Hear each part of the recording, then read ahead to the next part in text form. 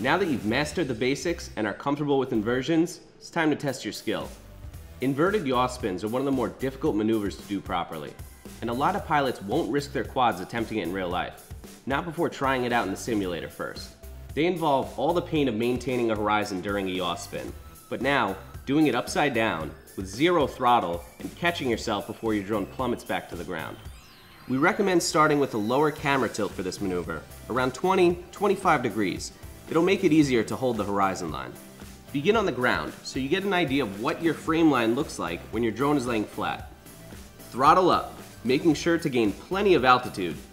Then, cut throttle and roll, recentering your roll as you approach a full inversion.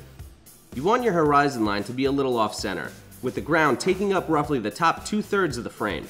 Then, you're going to input yaw only in your preferred direction. As you hit about the 180 degree mark, you're going to then roll out of the maneuver and slowly re-raise your throttle. After practicing this move enough, you'll be able to combine it with other segmented maneuvers to truly personalize your freestyle flying.